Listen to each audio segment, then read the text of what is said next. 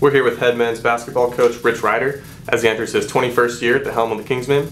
Coach, you earned a share of the Sky title last season, but lost leading scorers Eric Smith and Coltrane Paldro. What will be uh, the key for the team this year to continue your success? No question, they'll, they'll leave a hole for us to, to fill. But I, after going through the early practice, I don't think that hole is going to be as deep as people think.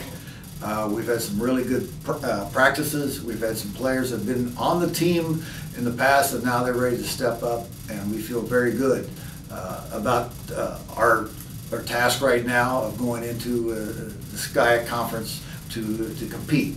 Uh, we've had three or four people to step up that have been with us for four or five ye- uh, for four or five months now, and uh, they're ready to, to help fill the goal that was left by uh, Coltrane and Eric. What are some of the strengths that you've seen from this group so far during the preseason practices? This is a very close knit group. Uh, they play very hard. I think our depth will be more than uh, it has been in the past. I don't think we have to rely on one or two people this year. I think we're going to have uh, several people step up and uh, take the responsibility. Uh, that's nice. We have excellent leadership in, Dan Wade and, and Connor McGuire. They've shown excellent leadership both on and off the floor, so we fully expect them to be our leaders. But at the same time, we've had a very good recruiting year uh, that we feel good about uh, for their development as the season progresses.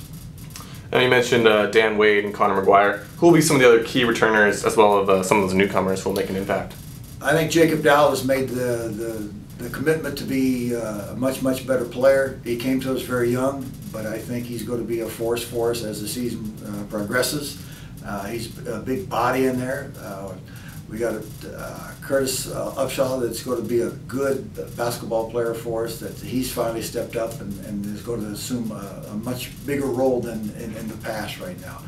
No question uh, about Sam Cirillo. He's uh, bided his time, and now he's ready to step up, and he'll play a very key role. As well as uh, Lanaki. He's going to come along and, and uh, uh, be a force for us and, and spell us at the guard spot. All right, and finally, what are some goals and expectations that you have for the team this year? Right now, we're going to try to be as competitive as we possibly can. We have a very challenging schedule, but I think it's going to be one that will uh, get us ready for conference play come January.